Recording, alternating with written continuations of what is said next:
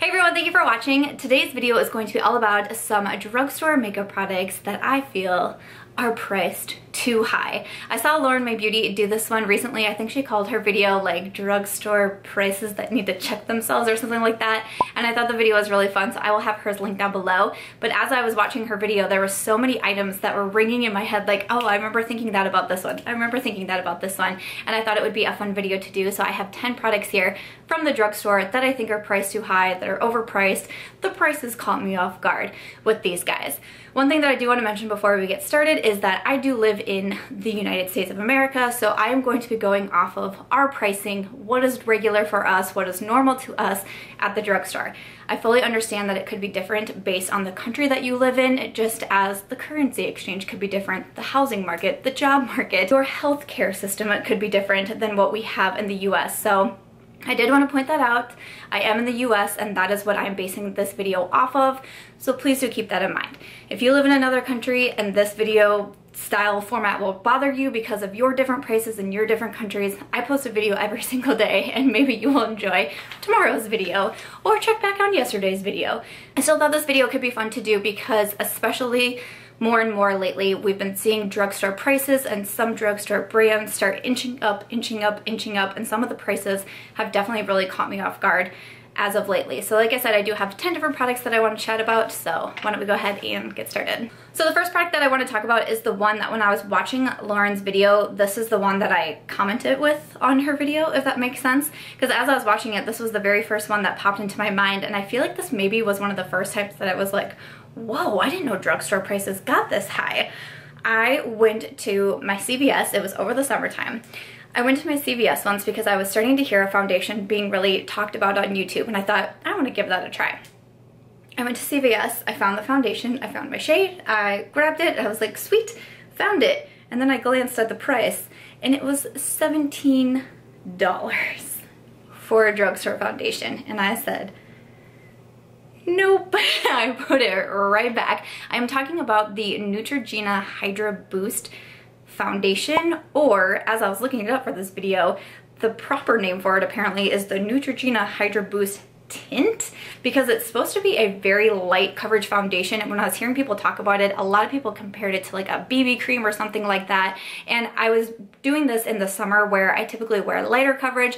I don't do a ton of full coverage in the summer. Um, I do BB creams. I do powder foundation something just a little bit lighter on my skin. So that's why I was thinking like oh this could work out really well for me. But then when I saw it was $17 I didn't even have that thing in my hand for a minute before I put that back. I was like, dang. Because I think to my Clinique Beyond Perfecting Foundation and Concealer, that was $28 for me. So I'm like, to spend $10 more and get a really full coverage, long-lasting foundation that I love, I was like, man, Neutrogena, that is really expensive. One other thing that I wanted to say about drugstore makeup is that it's sometimes it can be hard talking about prices with drugstore because prices can vary from CVS to Walgreens to Walmart to Ulta to the brand's website, you know, things like that. Some retailers you can use coupons on, some you can't, and all of that. I'm just gonna be going off of the retail value price that I saw.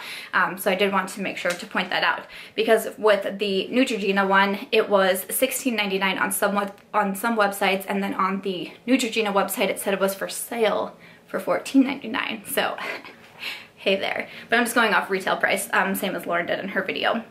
Next up, of course, I was going to mention this one. Of course I was.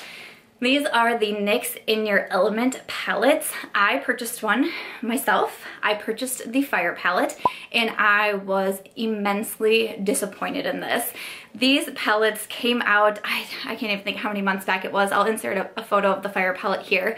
But I was really excited when NYX was gonna drop these and as that they were like showing them and hyping them up, I was like, yes, I want one of these palettes. I picked out the Fire palette because the yellow and the red, I was super excited for it. I had already made up my mind that I was gonna purchase it. And in my mind, I'm like, it's NYX, it's affordable. This is gonna be great. And then they dropped the prices and they were $30 for a drugstore eyeshadow palette. And I thought, what? How did this happen? And the reason why I still purchased it, I pretty much just talked myself into it anyways, but I was like, you know what, if NYX is charging $30 for an eyeshadow palette, they must firmly believe in that eyeshadow palette. They must think this palette is the freaking bomb. I know that there was a bunch of influencers that worked with NYX on their In Your Element palettes and I have to say though, I was I was super disappointed in that palette. I ended up returning mine because it was not worth $30. Not even that it was NYX, not, not worth $30. It wasn't worth $30, even if it would have come from a higher end brand. And it's crazy to me that NYX charged $30 for that eyeshadow palette and then Huda Beauty recently released her um, smaller palettes, the Obsession palettes. I now have two of them and those are $27 and I really enjoyed the quality of those and I was so unimpressed with the NYX one. I used it in a first impression video. People saw me struggling to make that palette work. I was really disappointed. They're not even available on the Ulta website anymore. I don't know what happened there. I don't know if you can still find them in stores, but they're not available on the Ulta website, but I did see on the NYX website that they've now been reduced to $15. And I'm like, yeah, they should be $15 next. Like, why, why are you charging us 30? That is crazy. But another drugstore brand that recently hit us with a $30 eyeshadow palette is Maybelline. When Maybelline came out with their collaboration with model Gigi Hadid, those were some inflated prices and I like I had learned my lesson by that time I was like I am not even you are not getting me on this one Maybelline watching some people who got the products in PR or some people who bought them anyways and from what I heard on a whole, of course there are some people who love certain things and, and vice versa, but as a whole it seemed like it wasn't worth the $30. And I just thought that was crazy for, for Maybelline to come out with a price that high as well. And that one, you know, you kind of felt like you were paying for Gigi Hadid's name, which I don't know. I just thought that was kind of crummy. I guess if you're collaborating with a brand that's known for being affordable, why can't you still keep your prices affordable? I don't know. That would that would bother me. I did not get suckered into that one though. Maybelline did not get my $30 on that one. But next up is a primer that I have wanted for a very long time. I feel like this primer was always really hyped about on YouTube, especially when I first started watching it and everybody was saying like, this is a really good primer from an affordable brand. I was like, yeah, but why is it not more affordable? I'm talking about the NYX Angel Veil primer. So I found it for the retail price of about $16. And this is one where like I would see it at my Target and I'd be like, I really want to get that. People say good things about it. I still hear people saying good things about it and using it but it was $16 for a primer and I'm like I just don't know if I can do that. I wanted to include it on my list because it's always been one of those that have been on like my makeup wish list. I've just never given into it and also though I will say a couple years back when I was first starting YouTube and getting into it I was someone who didn't believe in primers. Maybe now I would consider it more but honestly still I have some really good drugstore primers that are less than that. The Flower Beauty new primers that they came out with, I'm very much impressed with and those are either 12 or $13. So I don't know. The NYX Angel Veil, man, that was, I can remember one day at Target, I had it I had it in my little hand for a while and then uh, and then I added more makeup to my cart and I was like, you know what, you can't spend that much money. And the Angel Veil primer went back. Who has tried it? Do you think it's worth the price tag? Did you get it on sale? Let us know. Next up on my list is one that I just kind of have a funny story about as well because I went back and forth on if I should include this, but I like telling stories. I'm an author. I, this is what I do for a living. I enjoy telling stories, so I'm gonna tell this story.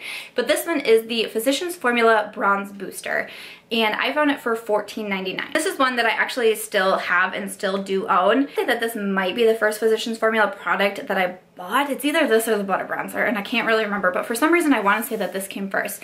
And people were talking about this. Physicians Formula was a new brand to me, and I was like, ah, I really want to try it. But I remember going to my CVS and seeing the $14, $15 price tag and being like, is that too much money to spend on a face palette. So I didn't buy it, I didn't buy it, I didn't buy it. two different shades of this one and mine I got in the matte sculpting because it has a setting powder, a contour, and a bronzer, which I've been into face palettes for a very long time because this was quite some time ago.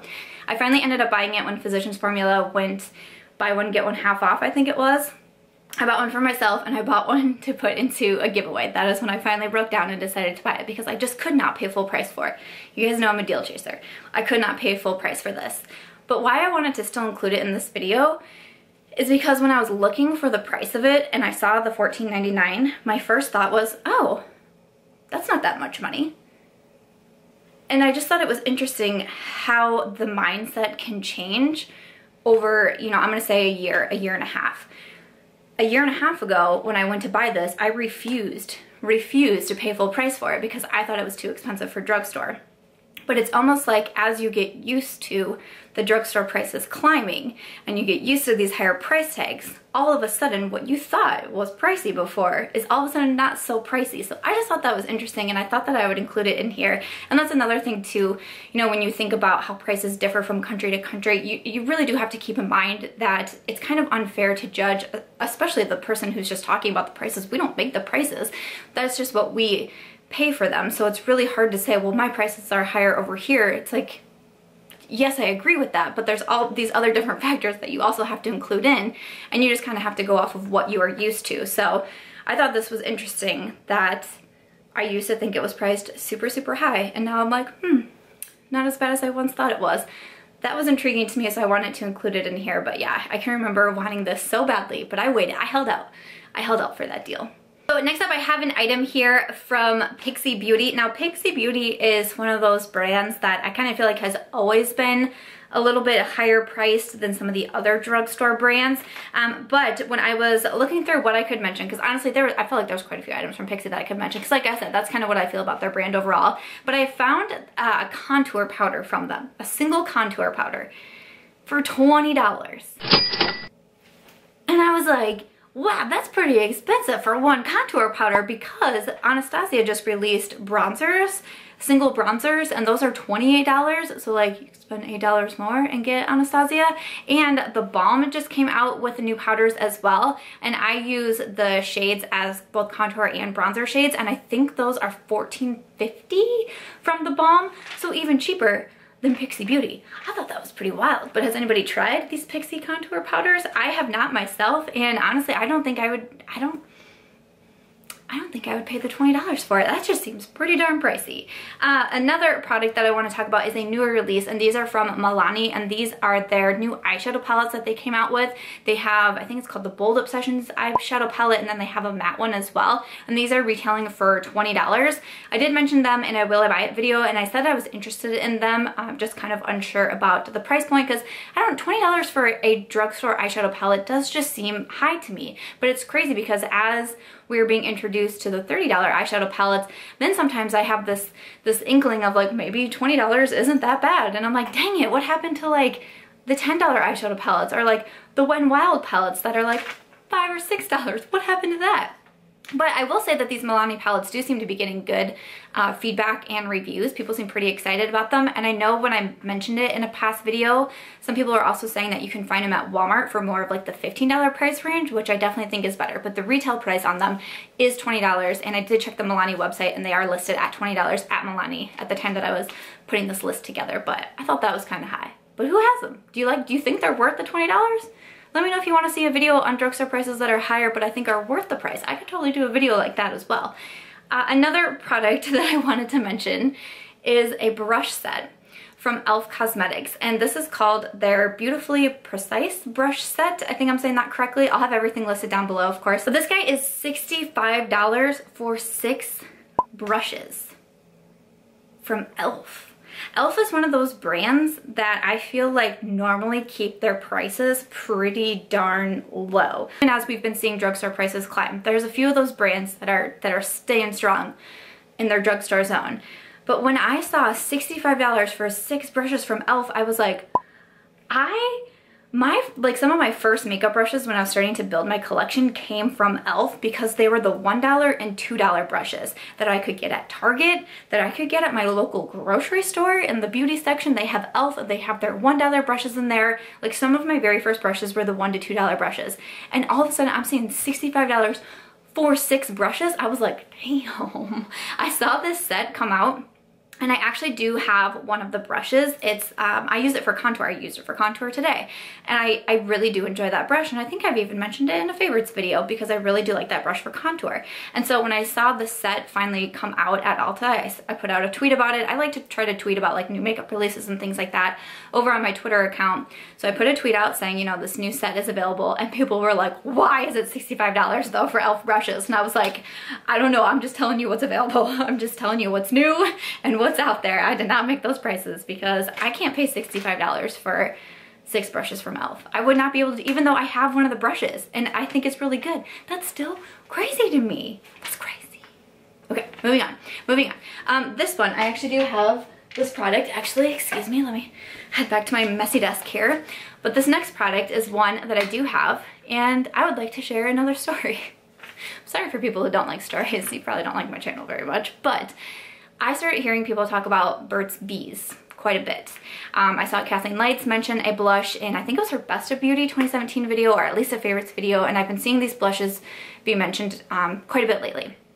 So when I was at my CVS, I saw the Burt's Bees section and I saw this blush and I thought, Kathleen likes this blush, a lot of other people like this blush, I should get this blush. I picked up the shade uh, Toasted Cinnamon, which honestly I use as a blush and a bronzer, I can kind of go back and forth. I thought it looked really pretty and so I went to grab it and there was no prices. There was no, like the display was there but there was no prices anywhere. And so I picked it up and I kind of was looking at it and I was like, hmm, I mean, Burt's Bees, it's drugstore, I'm at CVS, like looking at it, I'm like, I don't feel like I see anything like super crazy. It probably shouldn't be, like in my mind, I was like, ah, five or six dollars, I don't know, a single blush, surely can't be that much. So I finished up the rest of my shopping and I go to check out. And I remember when he told me the total, I thought, dang, what did I spend what I spent all my money on. Like I know I was buying like printer paper and I think maybe I bought like makeup wipes or something. Like I bought a few other things as well, but still the total in my mind, I was like, dang, I didn't think it was gonna be that high. And I get in my car, I look at the receipt. This was $10. $10 for a single blush from CVS. I was like, ooh, dang it, I think if I knew that, uh, I probably wouldn't have bought the blush. You know, it could have been something where I would have waited till I had some CVS, like the reward bucks or whatever they're called, extra care bucks. Maybe I would have waited for that. I would have waited for buy one, get one half off even or something. But I was like, man, I just spent $10 on one blush from the drugstore. That's that's kind of a bummer. I mean, I'd like it. I think it's a nice blush, but I still don't know if I would have paid $10 for it, but it was because they didn't have the prices up there. Are you trying to be sneaky CVS, or what were you, what was that about? It's kind of rude. Uh, the very last item, 10th and final item, hopefully we're at 10. Sometimes I don't count my list very correctly, but this is the Revlon Photo Ready Insta Filter Foundation or something like that, and it is $17.99. It is $18 for a drugstore foundation. I'm like, no, why, why, why? But I've been seeing other people, and I think maybe Lauren might have actually mentioned this one in her video as well, but I've seen some people use it in tutorials and it kind of has like an interesting concept of like how the actual product comes out. I have seen a few people use it in their videos and I remember it, it, was before I was making the, the list for this video. I clicked on it, like it was in someone's description box, so I clicked on it once and it took me to Ulta and I remember thinking like, Ooh, I was not expecting that price tag. And then I just kind of forgot about it. And then when I was making the list for this video and then I saw Lauren talk about it, I was like, yes, I can remember clicking that link and thinking like, well, that was a lot of money for a foundation. So I've never tried it myself. I've never purchased it. But have you guys tried this Revlon Photo Ready Insta Filter Foundation? Do you think it's worth the $18? Were you able to snag it at a discount? Let me know your thoughts down below. But that was the 10th and final item for drugstore products that I think are just too expensive expensive. Okay, so that's gonna be everything for today's video talking about 10 drugstore items that I feel like are just too overpriced. Again, keep in mind all the disclaimers that I had to mention at the beginning of the video when you're gonna be leaving your comments. I would love to have some conversations down below. Do you agree with me on some of these products? What are some other drugstore products that you found were too high? And are you also someone like me who you try to wait for the deals? I would love to know because even though they're drugstore prices and some of them can still seem cheaper, I still am just a deal chaser and I wanna get the best deal that I can out there, especially because I do buy me a lot of makeup. But I would love to hear some of your thoughts and some of your products down below. As always, I hope that you guys did enjoy this video. Make sure to check out Lauren's video as well. It will be in my description box. And as always, if you guys did enjoy this one, I hope that you will give it a thumbs up. I hope that you will also consider subscribing before you go. And I will catch you guys in tomorrow's video.